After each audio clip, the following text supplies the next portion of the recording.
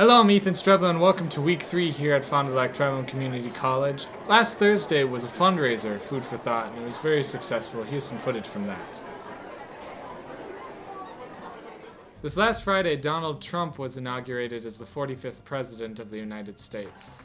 Saturday, around 100,000 people gathered at a women's march in St. Paul for political purposes.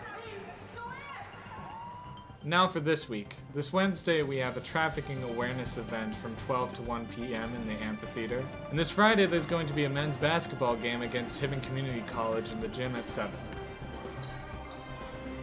Now to Hunter with the weather. Ishqua anima e gichigad in Guanaquid. Ijo gichigad Guanaquid.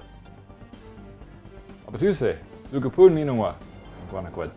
Neo gichigad in Guanaquid. Nano gichigad in Guanaquid. Gizibagi sagnage gichigad in Guanaquid. Anima e gichigad in Guanaquid bangi.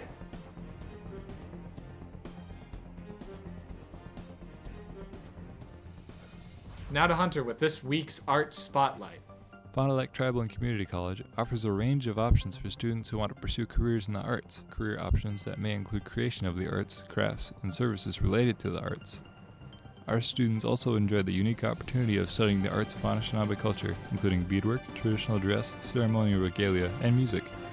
Contact us if you know someone to feature in future Odas Thunder Art Spotlight. Thank you for watching. This has been Odas News.